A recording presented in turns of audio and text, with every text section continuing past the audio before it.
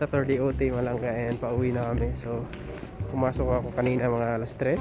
Oh, alas 3, alas 5. Uwi na kami alas 8 ngayon. So, 3 hours OT lang. So, yun lang. Wala na tayong trabaho. Tara, uwi na.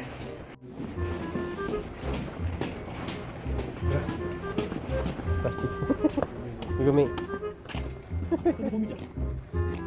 Tahu. Gumi back. Bye bye lisod ka solista. Yun, pauwi na kami. So, dalawa lang kami pumasok. Ayan yung leader ko tsaka ako. So, siguro ito na yung ano, last na, ano tawag ito? Uh, snow for this year.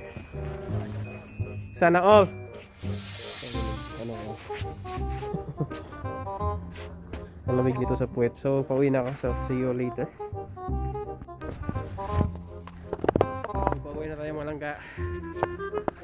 And malamig.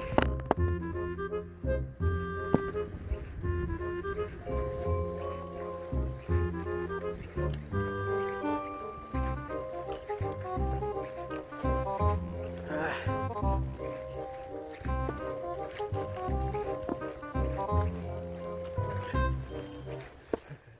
So yun mo lang nakauwi na tayo sa bahay. Ayun, grabe oh. Naligo ako na ano, snow. So mamaya may lakad naman tayo. Ah, birthday ng ano ko, uh, kasama ko sa trabaho. So magkakaraoke kami mamaya. So ingat mo lang God bless.